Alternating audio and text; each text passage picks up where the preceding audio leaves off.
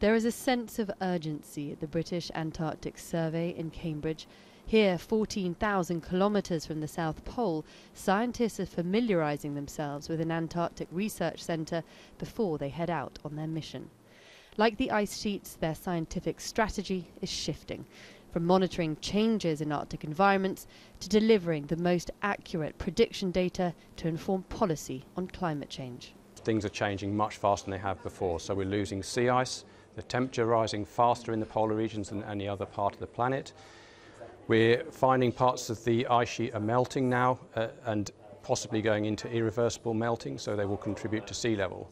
So there's a lot of urgency now in what's happening in our science in the polar regions and how they're going to affect the rest of the planet. From autonomous vehicles like the submersible Boaty McBoatface, named in a public vote, to the research vessel Sir David Attenborough, which is essentially a floating laboratory and artificial intelligence, including creating a digital twin of the entire continent.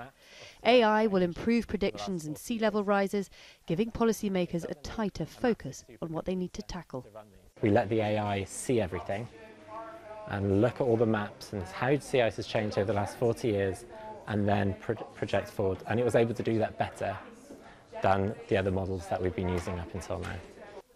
Scientists here say we can't stop climate change. We've preloaded the atmosphere with carbon dioxide and methane, so the Earth will keep warming and the ice will keep melting even faster around Antarctica.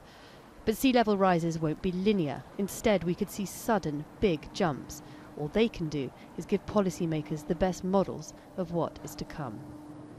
A key part of this new strategy is studying ice cores brought back from Antarctica and stored here in minus 25 degrees. Now these particular pieces of ice contain air bubbles from 225 years ago, but they can go back 800,000 years. And they hold concentrations of greenhouse gases that will help scientists predict the future of climate change. These scientists enjoy the most inhospitable places on the planet to make the rest of it more hospitable for humanity and hope their hard work won't be wasted. Charlie Angela, Al Jazeera, Cambridge.